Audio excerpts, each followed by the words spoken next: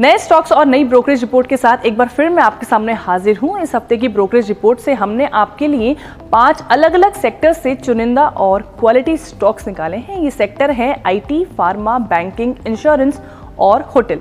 Brokerage कंपनियों ने इन पाँच अलग अलग सेक्टर से कुछ चुनिंदा स्टॉक्स दिए हैं, जिन पर निवेशकों को खरीदारी की सलाह दी है। ब्रोकरेज कंपनियों को लगता है कि इन शेयरों में पैसे लगाने पर निवेशकों की कमाई हो सकती है। नमस्कार, मैं हूँ तनुजा यादव। आप देख रहे हैं जी बिज़नेस डॉट कॉम तो आइए शुरू करते हैं आज का शो। इस हफ़्ते की ब्रोकरेज रिपोर्ट का पहला स्टॉक है टीसीएस। टीसीएस टाटा ग्रुप का दमदार आईटी शेयर है, जो लगभग हमेशा ब्रोकरेज की रडार पर रहता है।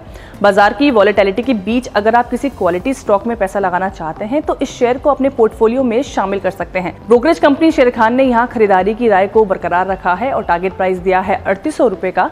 अगर आप इस शेयर के पिछले पाँच साल का ट्रैक रिकॉर्ड देखेंगे तो आपको पता चलेगा कि ये स्टॉक मल्टी बैगर रहा है, यानी कि इस स्टॉक ने एक परसेंट से ज़्यादा का रिटर्न दिया है। दूसरा स्टॉक जिसे आप अपने पोर्टफोलियो में शामिल कर सकते हैं वो है एल आई अपने लिस्टिंग प्राइस से लगभग चौबीस परसेंट टूट चुका है, लेकिन इसके बाद भी ब्रोकरेज रिपोर्ट ने यहाँ अपना भरोसा बनाया हुआ है। Brokerage company Bank of America को लगता है कि ये शेयर अब अभी भी नौ रुपए का लेवल छू सकता है, इसलिए कंपनी ने इस शेयर पर आउट परफॉर्म की रेटिंग को बरकरार रखा है।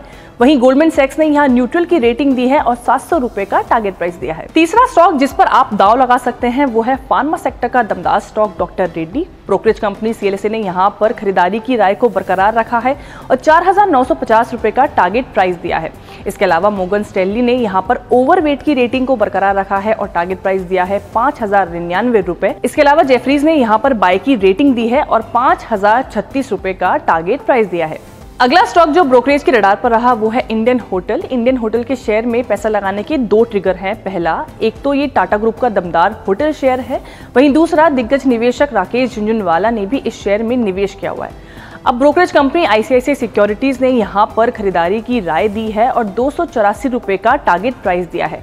इसके अलावा मोतीलाल ओसवाल ने भी यहाँ पर बाय की रेटिंग को बरकरार रखा है और दो रुपए का टारगेट प्राइस दिया है। इस वीडियो का आखिरी स्टॉक जिसमें निवेशक पैसा लगा सकते हैं, वो है State Bank of India State Bank of India के शेयर पर ब्रोकरेज कंपनी सीएलएसए ने खरीदारी की सलाह दी है और छह रुपए का टारगेट प्राइस दिया है।